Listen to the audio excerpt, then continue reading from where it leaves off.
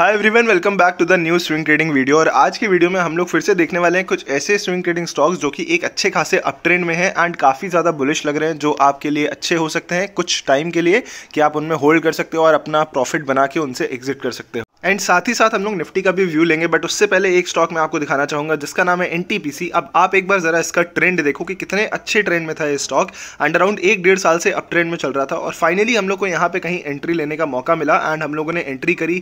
Currently stock बहुत ज़्यादा bullish दिख रहा है बट स्टिल हम लोग यहाँ पे फोर परसेंट अपना निकाल चुके हैं। और हम लोगों ने अपनी अच्छी खासी क्वांटिटी यहाँ पे एग्जिट कर दी है। लेकिन हाफ़ क्वांटिटी अभी भी हम लोग होल्ड कर रहे हैं नेक्स्ट टारगेट्स के लिए। सो so, इस स्टॉक के साथ ही साथ एक स्टॉक और मैंने सजेस्ट करा था अपने व्हाट्सएप ग्रुप में जिसका नाम है गॉड फ्रे फिलिप्स तो इसको एक बार देख लेते हैं कि इसमें हम लोगों ने कितना प्रॉफिट बनाया है। और ये है आपका गॉड फ्रे फिलिप्स जिसमें आपको 8 परसेंट के आसपास का प्रॉफिट दिख रहा होगा। इसके पीछे का पूरा का पूरा रीजन क्या है अगर आप ये देखोगे गॉड फ्रे फिलिप्स का जैसे मैंने आपको एनटीपीसी का ट्रेंड दिखाया था गॉड फ्रे ने अपना ऑल टाइम हाई ब्रेकआउट दिया था एंड उसी पे आके स्टॉक सपोर्ट ले रहा था और हम लोगों ने कहीं यहाँ पे कैप्चर करा। अब स्टॉक में बहुत ज़्यादा चांसेस है कि यहाँ से बीस तीस ऊपर और जा सकता है लेकिन हम लोग का स्विंग ट्रेड था तो हम लोग को जल्दी एग्जिट करना पड़ता है, जिस वजह से सेवन एट परसेंट के प्रॉफिट्स भी कम नहीं होते हैं। एंड आज की भी जो कैंडल है, काफ़ी ज़्यादा बुलिश है तो अभी भी स्टिल लोग होल्ड कर रहे हैं। एंड मैं चाहता हूँ कि आगे भी होल्ड करें। जब तक हम लोग को एटलीस्ट इसमें ट्वेंटी के लेवल्स नहीं दिख जाते, बाकी देखते हैं आगे क्या होता है। तो चलिए अब निफ्टी का व्यू ले लेते हैं जरा शॉर्ट में एंड उसके बाद मैं आपके साथ स्टॉक शेयर करने वाला हूँ।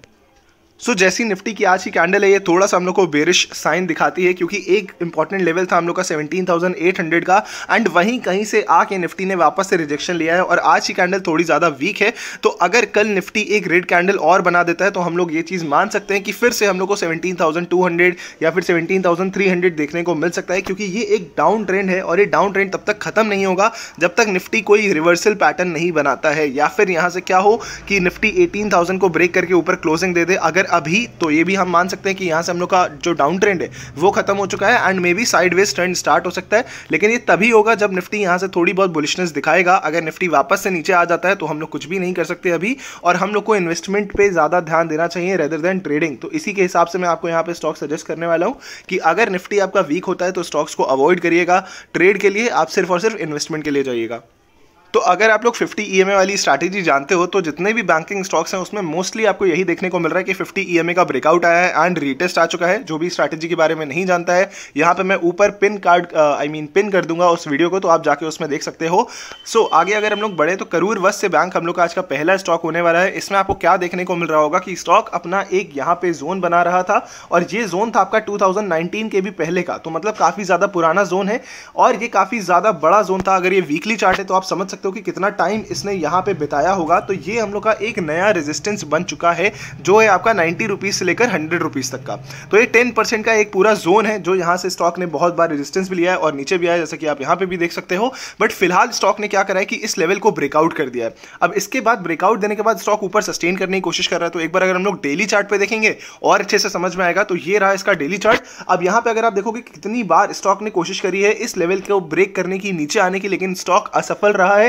स्टॉक नीचे नहीं आ पाया है। एंड साथ ही साथ अगर मैं आपको ई e ओपन करके दिखाऊँ तो ये है हम लोग का फिफ्टी ई e अब यहाँ पे आपको क्या देखने को मिल रहा होगा कि फिफ्टी ई e का ब्रेकआउट आ चुका है। हम लोग का ट्रेडिंग स्टाइल क्या है कि हम लोग फिफ्टी ई के ब्रेकआउट के बाद रिटेस्ट का वेट करते हैं एंड उसके हाई पे हम लोग बाई करते हैं, जिसका कि विन रेट हम लोग का अराउंड सेवेंटी एट्टी परसेंट रहता है। अगर आप अच्छे मार्केट कंडीशन में एंट्री लेते हो तो जैसा कि मैंने कहा, अगर निफ्टी नीचे जाएगा तो अवॉइड करिएगा। अगर निफ्टी एक अच्छे फ्लो में रहता है तो आप ज़रूर एंट्री करने के बारे में सोच सकते हो। एंड वैसे भी इसमें अभी ब्रेकआउट हुआ है तो रिटेस्ट पेंडिंग है। पहले रिटेस्ट हो जाने दीजिए, उसके बाद आप उसके हाई पे ही बाई करिएगा, तभी ज़्यादा अच्छा विन रेट आपको स्ट्रैटेजी का देखने को मिलेगा। अदरवाइज़ इतना ज़्यादा कुछ खास स्ट्रैटेजी काम नहीं करेगी अगर आप इसको अपने हिसाब से बाई करोगे। या फिर एक तरीका और है जिससे आप इसमें बाइंग कर सकते हो, वो है आपका ये कि जब ये ट्रेंड लाइन ब्रेक हो जाए, इसके ऊपर एक कैंडल क्लोज हो जाए, तब आप यहाँ कहीं एंट्री लेने के बारे में सोच सकते हो और जो आपका स्टॉप लॉस होगा, वो स्टॉप लॉस अगर आप थोड़ा सेफ़ स्टॉप लॉस रखना चाहते हो तो आप रख सकते हो 95 के नीचे, जो कि अच्छा खासा बड़ा स्टॉप लॉस हो जाएगा। इससे थोड़ा सा छोटा स्टॉप लॉस आपका होगा इस रेड कैंडल का लो जो कि आपका नाइन्टी रुपीज़ के आसपास का आएगा। तो अगर आपका इतना बड़ा स्टॉप लॉस आता भी है तो भी आपके टारगेट्स अच्छे खासे हो सकते हैं, क्योंकि यहाँ पर जो रेजिस्टेंस है, वो सबसे पहला रेजिस्टेंस ही आपका 115 लेवल्स का है, जो कि इस लेवल से भी काफ़ी ज़्यादा दूर है। तो आई होप ये वाला स्टॉक आपको समझ में आ गया होगा।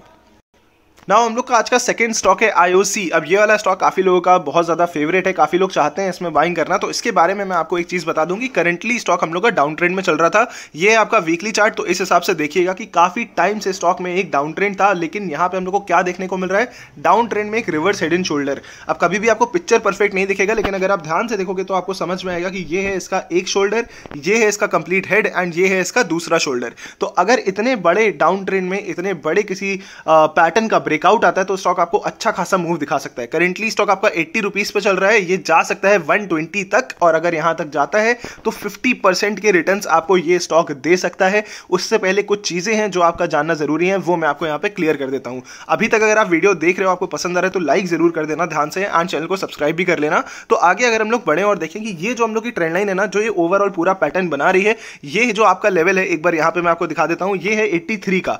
तो अगर हम लोग का 83 का लेवल ब्रेकआउट होता है किसी अच्छी बुलिश कैंडल से, उसके बाद ही आप यहाँ पे एंट्री लेने के बारे में सोचना, तब जो आपका स्टॉप लॉस होगा, वो इस स्विंग लो के नीचे होगा। अब ये वाला स्विंग लो हम लोग का कितना है, अगर हम लोग नंबर्स में देखें 75 का। तो अगर आप यहाँ पे कोई कैंडल ऊपर क्लोज होती है, आप बाई करते हो तो 75 का आपका स्टॉप लॉस होगा। अगर इसके नीचे आके कोई कैंडल क्लोज हो जाती है तो आप एग्जिट कर दोगे। दूसरा जो सेफ़ तरीका है, वो क्या रहेगा कि जब यहाँ पे ब्रेकआउट के बाद रिटेस्ट पे आप बाई करो।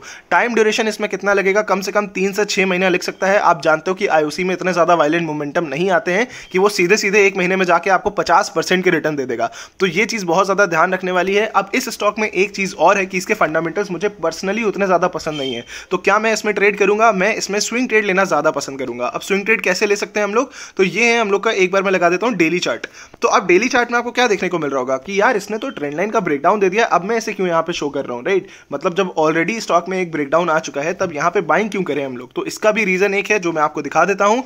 ये हम लोग खोलते हैं अपने ई अब ईएमए में हम लोग को क्या देखने को मिल रहा है कि 50 ईएमए का ब्रेकआउट आ चुका है रीटेस्ट पेंडिंग है। तो रीटेस्ट का मतलब क्या हुआ कि अगर यहाँ पे आपका ये जो ट्रेंड है अगर इसका ब्रेकडाउन आ चुका है, ये जो आपको पूरा ट्रेंड दिख रहा होगा, अगर इसका ब्रेकडाउन आ चुका है मोस्टली क्या होता है स्टॉक ऊपर जाता है रिटेस्ट करता है और नीचे आता है। तो अगर स्टॉक नीचे आ जाता है तो हम लोग को एंट्री ही नहीं मिलेगी। तो सिंपल सी बात स्टॉक हम लोग का देखना एकदम किसी भी खराब चीज़ नहीं अगर आप इसको अपनी वॉचलिस्ट पर रख रहे हो, कुछ आपका जाएगा नहीं, आपको सिर्फ़ इस पर नज़र रखनी है। लेकिन अगर रिटेस्ट हो जाता है और स्टॉक वापस ऊपर जाने लगता है, जिसका मतलब कि ये होगा कि स्टॉक का जो ट्रेंड है, वो अभी भी कंटिन्यू है एंड स्टॉक नीचे नहीं गया, वापस उसी ट्रेंड में आके ऊपर जाना स्टार्ट कर देगा। ये चीज़ थोड़ी सी एडवांस आपको लग सकती है। अगर आप एकदम डीप में हर चीज़ समझना चाहते हो तो आप चाहो तो व्हाट्सएप कम्युनिटी ज्वाइन कर सकते हो। बट उससे पहले अगर आप चाहो तो जो चैनल पर आपको ज्वाइन बटन दिखता होगा उसको जाके आप क्लिक कर सकते हो। वहाँ पर आपको बेसिक कोर्स मिल जाएगा जिससे आपके सारे डाउट्स क्लियर हो जाएँगे। सो so, फ़िलहाल के लिए ये था हम लोग का आज का second stock and third stock थोड़ा स्पेशल है तो चलिए उस पर चलता है।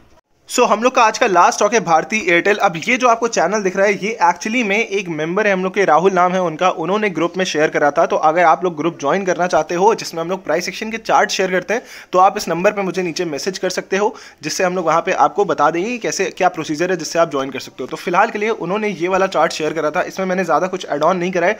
छोटी सी चीज़ मैंने एक ऐड करी है जिसको हम लोग रेजिस्टेंस मान सकते हैं। तो चलिए स्टार्ट करते हैं इसका एनालिसिस और देखते हैं कि एक्चुअली में इसमें हम लोग को क्या करना चाहिए और करेंटली क्या हो रहा है। तो यहाँ पे मैं ईएमएस ओपन नहीं करने वाला हूँ तो जितने भी लोग डरते हैं इंडिकेटर से, वो आराम से बैठ सकते हैं, कोई दिक्कत वाली बात नहीं है। कंप्लीट हम लोग प्राइस सेक्शन ही के ऊपर बात करेंगे। तो ये है भारतीय एयरटेल का चार्ट आप चैनल देख सकते हो, बहुत ज़्यादा परफेक्ट चैनल चल रहा है। यहाँ पे इसने एक बार सपोर्ट लिया, यहाँ पे सपोर्ट लिया, थोड़ा और अगर हम लोग आगे बढ़ेंगे तो देखेंगे कि यहाँ पे भी स्टॉक ने सपोर्ट लिया डबल बॉटम बना के ऊपर गया। जैसा कि मैं आपको आईओसी में बता रहा था कि ब्रेकडाउन आने का मतलब ये नहीं होता कि स्टॉक वीक हो गया। ब्रेकडाउन के बाद हम लोग को रिटेस्ट देख के नीचे गिरना चाहिए स्टॉक तब हम लोग मानेंगे कि स्टॉक वीक है। अदरवाइज़ अपने प्रीवियस सपोर्ट से स्टॉक बाउंस कर जाता है एंड ऊपर चला जाता है एक अच्छा खासा पैटर्न बना के। तो यहाँ अगर हम लोग देखेंगे, अभी क्या हो रहा है? अगेन इसी सपोर्ट लाइन पे स्टॉक आया और यहाँ से स्टॉक ने बाउंस बैक ले लिया। हम लोग का जो बाइंग प्राइस होना चाहिए, वो वहीं का होना चाहिए, जब हम लोग को लगे कि हंड्रेड परसेंट यहाँ पर एक अपमूव आ सकता है। सिर्फ़ और सिर्फ़ पैटर्न बनाने से हम लोग को एंट्री नहीं मिलती है। हम लोग को देखना है कि इसमें हम लोग को कैसे कन्विक्शन मिल रहा है। तो सबसे पहले तो एक ये आपकी ट्रेंड लाइन बनती है। राइट अगर आपकी ये वाली ट्रेंड लाइन ब्रेक हो जाती है तो हम लोग मान सकते हैं कि यहाँ पे हम लोग को एक कन्विक्शन मिला है, जिससे हम लोग भारतीय एयरटेल में एंट्री कर सकते हैं। नेक्स्ट चीज़ क्या है कि अगर आप रेजिस्टेंस देखोगे तो स्टॉक का कितना ज़्यादा इंपॉर्टेंट रेजिस्टेंस है आपका ये लेवल राइट यहाँ पे आप देखोगे एक बार अगेन दो बार, फिर यहाँ पे इसने डबल बॉटम बनाया था, फिर यहाँ पे आके इसने एक जोन बनाया, नीचे गया स्टॉक तो ये जो आपका पूरा का पूरा जोन है 760 से लेकर 780 तक, ये जोन बहुत ज़्यादा इंपॉर्टेंट है। तो अगर इसके ऊपर स्टॉक जाता है, तब आप एंट्री करिए। अदरवाइज़ आप यहाँ कहीं एंट्री करिए जिससे आपका स्टॉप लॉस छोटा हो। क्योंकि अगर आप ट्रेंड लाइन के क्लोज पे कहीं एंटर करोगे तो आपका बहुत ज़्यादा छोटा स्टॉप लॉस होगा। जो अगर हिट हो भी जाएगा तो आपका ज़्यादा कुछ जाएगा नहीं। लेकिन अगर यहाँ से प्रॉफिट होना स्टार्ट हो गया तो आपका एक अच्छा खासा रिस्क रिवॉर्ड रेशियो अचीव हो जाएगा। तो आई होप कि आपको का पूरा पूरा वीडियोस अच्छा लगा हो, सारे स्टॉक्स पसंद आए हो एंड अब से मैं मेंबर्स के भी कुछ स्टॉक्स यहाँ पे ज़रूर शेयर करूँगा तो अगर आप लोग ज्वाइन करना चाहो, बिल्कुल कर सकते हो, अपने चार्ट्स मेरे साथ शेयर करने के लिए। So thank you so much for watching guys and keep supporting